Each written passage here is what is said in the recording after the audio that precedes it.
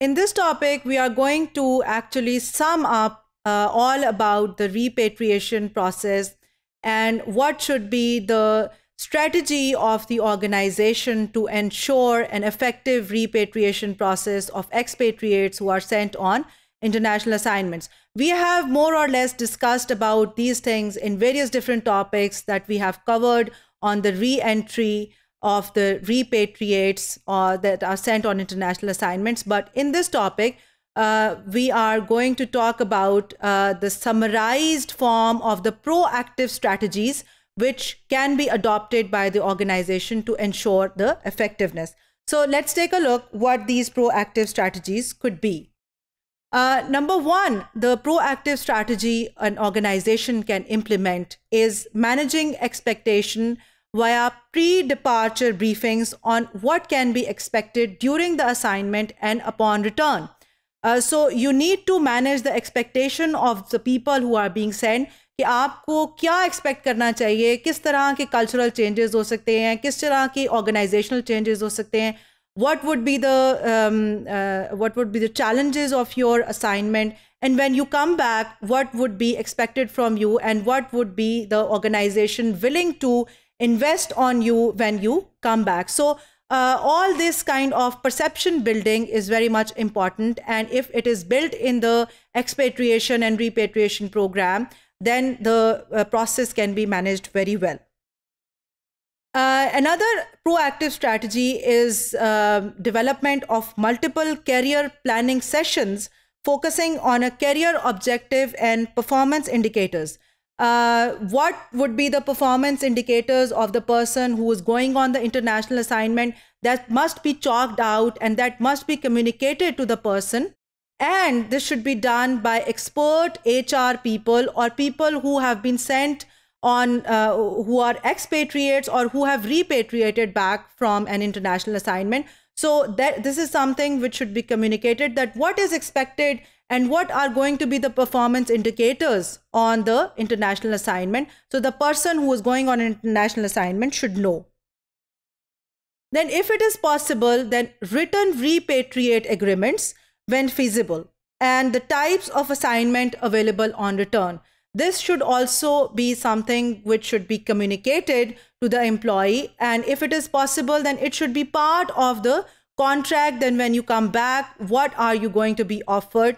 For example, when I was sent on a uh, PhD abroad, uh, it was a uh, kind of written in the rules of the university. Then when I come back, I will be appointed as an assistant professor. While I when I was going, I was going as a lecturer. So it was uh, known to me that it is going to lead to some kind of career development. Then another aspect is something which we have already talked about in the previous uh, topic, and that is mentoring programs uh, that continue to create the link between the person who is working in the host country and the home country. Uh, this practice may actually help to notify any kind of uh, post assignment dissonance and reduce the turnover.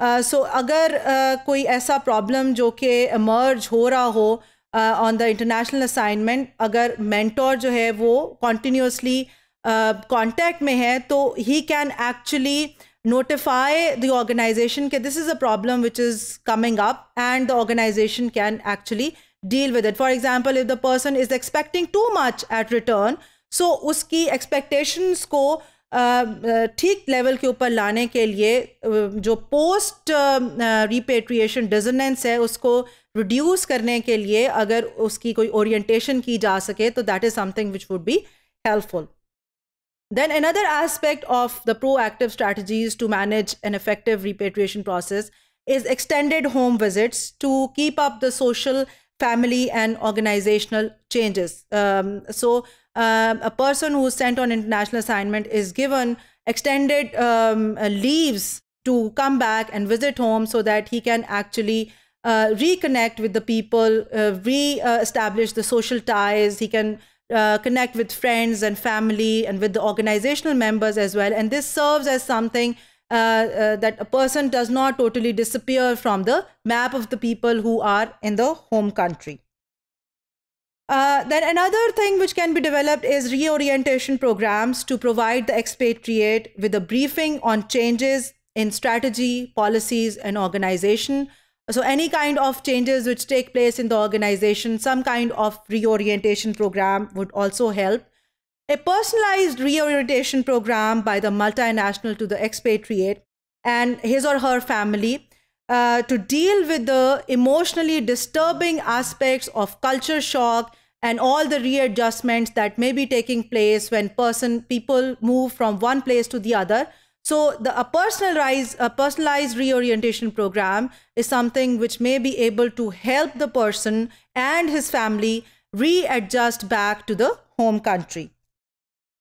Then personalized financial and tax assistance. This is something which we have already talked about so that the person and and uh, it it could also include uh, giving that person some kind of short-term loan so that he can you know buy a new house buy a new car because obviously he is moving back to a new environment and uh, he would need to establish all these uh, assets uh, for his family and for himself. So maybe the organization can extend some kind of financial help for that purpose.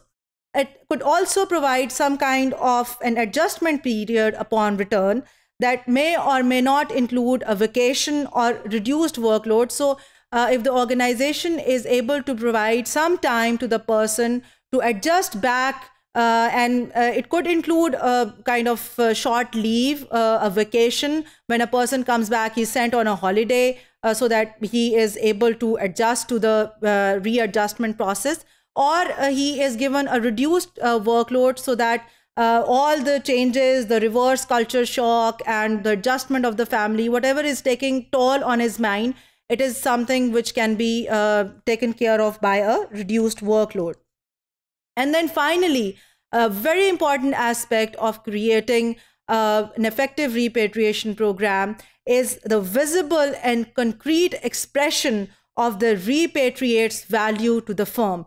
And this is something which can be done by celebrating, by celebrating his return, by conducting some kind of sessions in which he uh, transfers the knowledge, in which he talks about his experiences abroad, in which he shares what he has learned.